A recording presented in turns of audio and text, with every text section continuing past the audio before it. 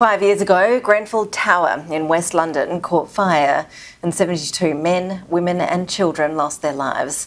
Since then, no criminal charges have been brought. Today, thousands of people are marching in a silent walk to demand justice. Isaac Paulos, Biruk Haftom. 18 names, 18 balloons to represent the 18 children who died in the Grenfell fire. It's hard to believe it's been five years. But on the faces of the bereaved, the pain is clear to see.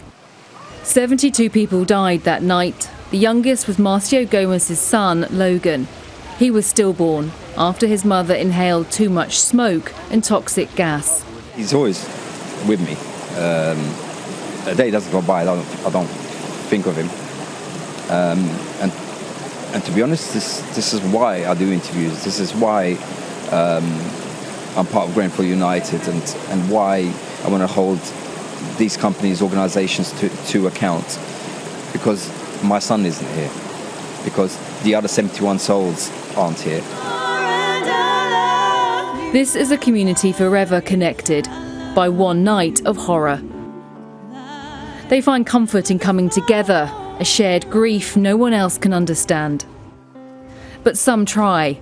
Those that showed support at the start are still doing so. Members of the royal family and the crowned king of rap, Stormzy. They were invited to this remembrance service at the base of the tower, others in authority were not.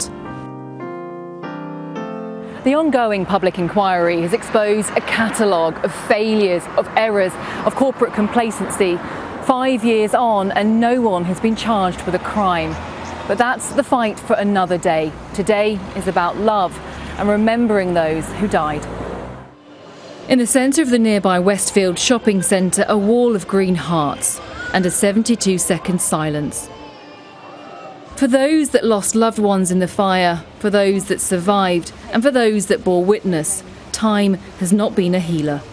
It feels like, you know, it was yesterday. Um, our community still has a long, long way to go before we heal. And I think it's because nothing has happened. Nobody's gone to jail. No justice has been, you know, has been served for the people that died in Grenfell Tower. So the community walks on, and after five years, it's stronger than ever, with support from all over the country, marching together in their thousands in silence to reflect, to remember, and to unite. Charlotte Lomas, Sky News.